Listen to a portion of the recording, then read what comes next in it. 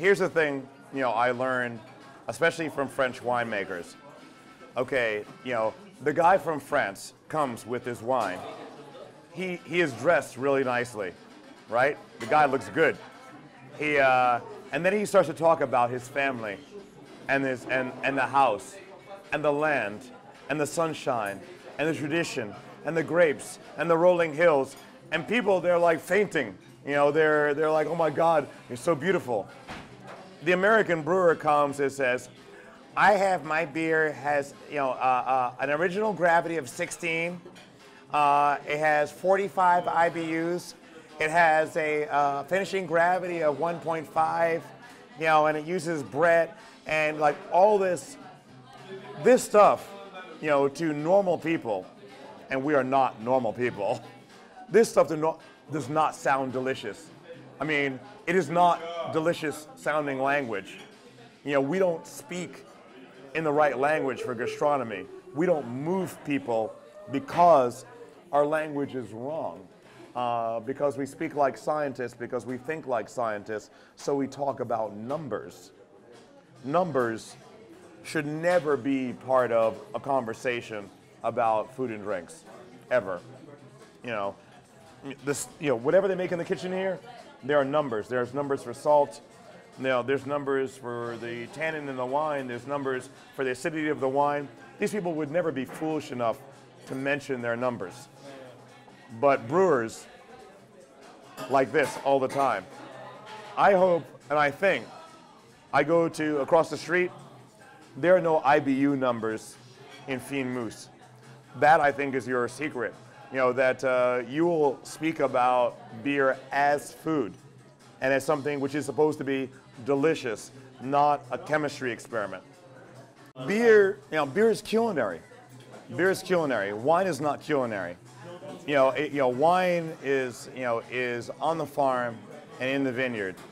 But, you know, if the winemaker has a vision, you know, at the beginning of the year, how exactly how his wine will take, it tastes, and then, you know, he is faking it. He's putting things in.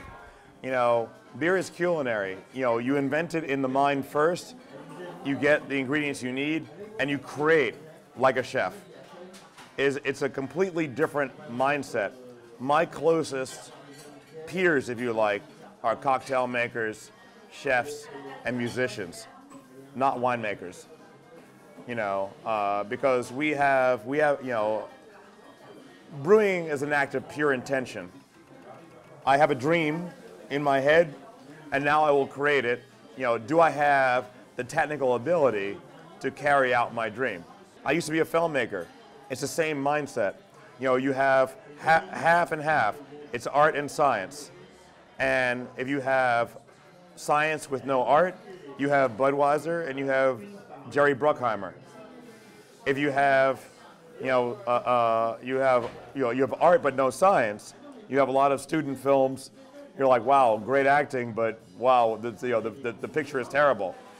You have art and science together, you can do everything. And that I think is, uh, you know, the, where we get now with craft beer, where in the past, you know, the big brewers were better than us at the science, and we were good at the art. Now, you know, we are good at the art and the science, and they are still good at the science only. and that's why that's why we're going to win. You know, not only that, but um, everywhere that you go, people are recovering from an industrial food system. You know, we lost everything. We lost everything, except maybe in the South, we still have barbecue. Um, we lost basically our entire food culture. Ironically, this is one of the reasons why our food culture comes back so strong and why craft beer is so strong is because we have like a clean slate. We had nothing. So when you have nothing, you want everything. I mean, I don't know, you know, and, and this, this part I, am not sure about for France. I know about the United States. Uh, craft brewing in the United States and in some other countries is part of an overall food movement.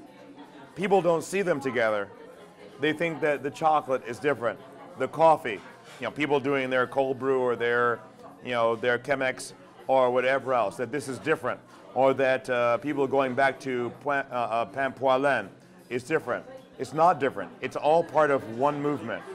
It's waking up from the matrix, you know, and you realize you would like things to be real, and now you want real cheese and real beer and real ice cream and real bread and real everything. And it's all one thing. They're not separate.